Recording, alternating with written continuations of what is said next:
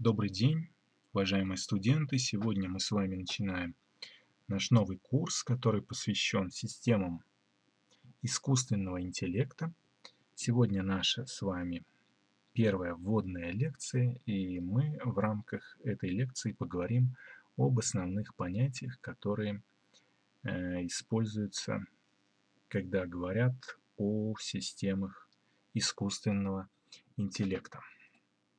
Искусственный интеллект или artificial intelligence по-английски – это область информатики, в рамках которой разрабатываются компьютерные программы для выполнения задач, способных имитировать человеческий разум, обнаруживать смысл, обобщать и делать выводы, выявлять взаимосвязи и обучаться с учетом накопленного опыта – Другими словами, это те системы, которые э, должны заменить собой творческие способности человека. Это одно из определений. То есть определений искусственного интеллекта очень много. Каждый автор и каждый исследователь этих систем э, трактует их по-своему, но все-таки у них есть одна э, общность. Это те системы, в отличие от других да, существующих компьютерных систем, которые позволяют э, имитировать или полностью или частично заменять какие-то когнитивные процессы, которые происходят в человеческом мозге. Да? То есть это высшие какие-то э, мыслительные процессы. Термин искусственный интеллект 1956 году ввел Джон Маккарти, американский ученый, на знаменитой международной конференции в Дартмутском университете. На данной фотографии вы можете увидеть Джона Маккарти. Это человек, который впервые ввел а, данный термин в оборот. Философии не решен вопрос о природе и статусе человеческого интеллекта. Нет и точного критерия достижения компьютерами так называемой разумности, хотя ранее были предложены гипотезы проверки разумности вычислительных машин. К ним можно отнести так называемые тесты Тьюринга или гипотеза Ньюэлла Саймона. Мы поговорим сегодня немного о тесте Тьюринга который был предложен британским ученым Аланом Тьюрингом. Эмпирический тест был предложен Аланом Тьюрингом в статье «Вычислительные машины и разум», которая была опубликована в 1950 году в философском журнале Mind. Целью данного теста является определение возможности искусственного мышления, близкого человеческому у машины – Теперь поговорим непосредственно о тесте Тьюринга. Тест. Человек взаимодействует с одним компьютером и одновременно одним человеком. На основании ответов на вопросы он должен определить, с кем он разговаривает, с человеком или компьютерной программой. Задача компьютерной программы – ввести человека в заблуждение – заставив сделать неверный выбор. Другими словами, в ходе общения одновременно с компьютером и с человеком, при этом он их не видит, а, человек должен догадаться. Компьютер говорит с ним, либо человек. Если компьютер настолько ловко и хорошо поддерживает диалог, что человек может а, ошибиться, предположив, что вместо компьютера с ним говорит человек, то это говорит о том, что машины имеется некоторый разум, который очень близок к человеческому. Это по тесту Тьюринга. То есть у нас имеется человек, который не видит своего собеседника, а собеседниками его являются э, вычислительная машина, либо настоящий человек. И в ходе общения, как мы уже сказали ранее, э, машина должна ввести в заблуждение человека а, о том, что с ней общается не машина, а человек. Если такое происходит, то по тесту Тьюринга можно сделать вывод, что компьютер владел, так сказать, разумом, каким-то интеллектом, который очень близок к человеческому интеллекту. Это так называемый тест Тьюринга.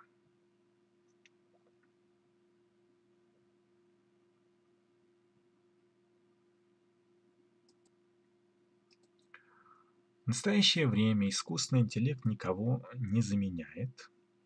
Целью его применения является расширение и дополнение возможностей человека.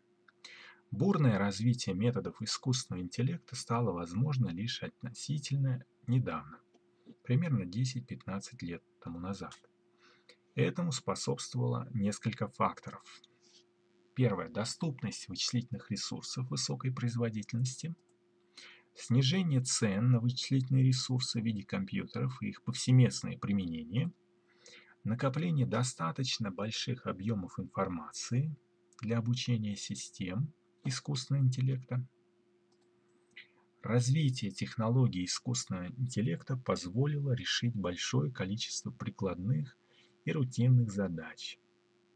Быстрое распознавание образов и дальнейшая их обработка – выдача рекомендаций на основе анализа, сокращение трудоемкости ручных операций, моментальное выявление рисков. Все это позволило э, бурному развитию методов искусственного интеллекта и повсеместному применению по сей день.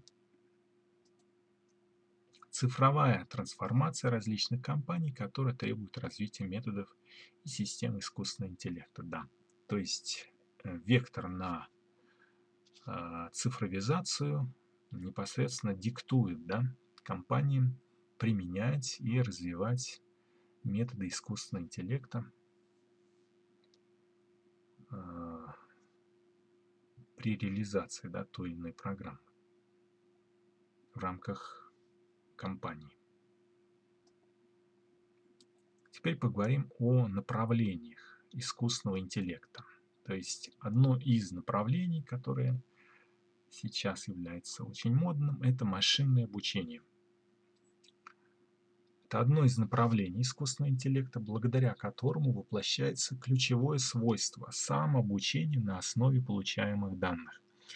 Чем больше объем информации и ее разнообразие, тем проще искусственному интеллекту найти закономерности и тем точнее будет выдаваемый результат.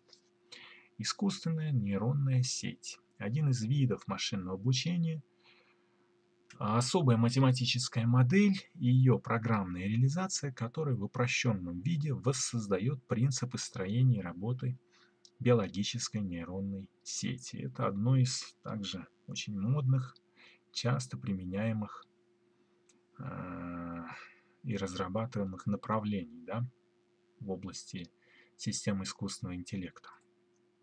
Нечеткая логика. Это одна из разновидностей да, экспертных систем. Э, то есть это раздел математики, являющийся обобщением классической логики и теории множеств – базирующийся на понятии нечеткого множества с функцией принадлежности, которая принимает любые значения в интервале от нуля до единицы.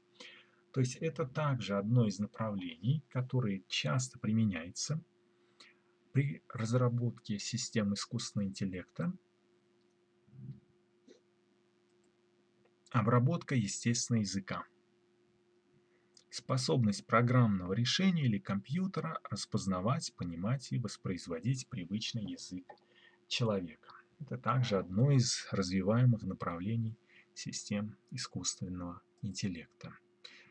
Распознавание образов – раздел информатики и смежных дисциплин, развивающий основы и методы классификации, идентификации предметов, явлений, процессов, сигналов, ситуаций и тому подобного – объектов, которые характеризуются конечным набором некоторых свойств и признаков. То есть это также одно из направлений, одна из задач, которой занимаются э, современные системы искусственного интеллекта. Конечно, данным перечнем у нас не ограничиваются направления развития систем искусственного интеллекта, но мы проговорили основные из них.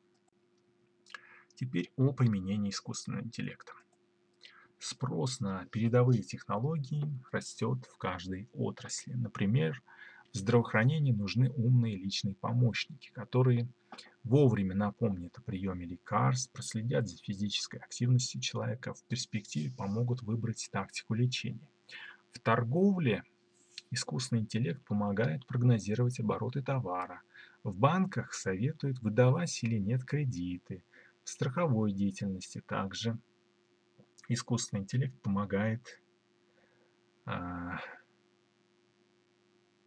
советами, а в финансовых операциях выявлять даже мошенничество. То есть э, применение довольно-таки разнообразное и обширное. Прикладных задачах для применения программ искусственного интеллекта также много, но все они базируются на нескольких ключевых свойствах. Искусственный интеллект – это программное решение, которое используется для автоматизации ручных задач человека, часто выполняемых и в большом объеме. Программы искусственного интеллекта чаще всего работают в копе с другими прикладными приложениями и заметно повышают их эффективность. Прогрессивные алгоритмы обучения постоянная адаптация дает искусственному интеллекту находить закономерности в больших объемах данных, поэтому он способен давать рекомендации и прогнозировать показатели.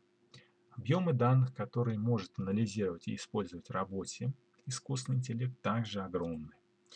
Высокая точность решения задач, при этом точность возрастает с увеличением объема данных, доступных для анализа и обучения. То есть это основные ключевые свойства Э, систем искусственного интеллекта. Теперь, если говорить конкретно, где находит применение искусственный интеллект? Это финансы, как мы уже сказали. Это тяжелая промышленность, да, то есть различные отрасли, различные технологии уже широко применяют системы искусственного интеллекта, и они дают очень даже отличные результаты медицина, транспорт, телекоммуникации и даже музыка сегодня не обделена э, инженерными решениями в области э, систем искусственного интеллекта. Как мы видим, искусственный интеллект, точнее его методы, широко проникают в различные сферы человеческой деятельности. Поэтому э, никак не уменьшается актуальность изучения их, и в рамках данного курса мы также будем изучать а, некоторые методы э, интеллекта и строить системы на их основе. В рамках нашего курса мы познакомимся с двумя методами искусственного интеллекта. Первое, мы познакомимся с различными разновидностями искусственных нейронных сетей и во второй части нашего курса мы познакомимся с основами нечеткой логики и посмотрим, как они позволяют решать те или иные прикладные задачи, которые возникают в ходе человеческой деятельности. Ну, на сегодня у нас все.